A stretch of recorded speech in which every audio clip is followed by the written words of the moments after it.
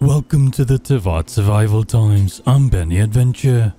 This is Traveler Aether. When you're out of food to eat and your statue's drained, you gotta find solutions.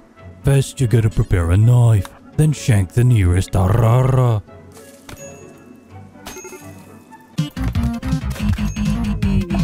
Proceed to then consume Arara. They contain a lot of nutrition and calcium too.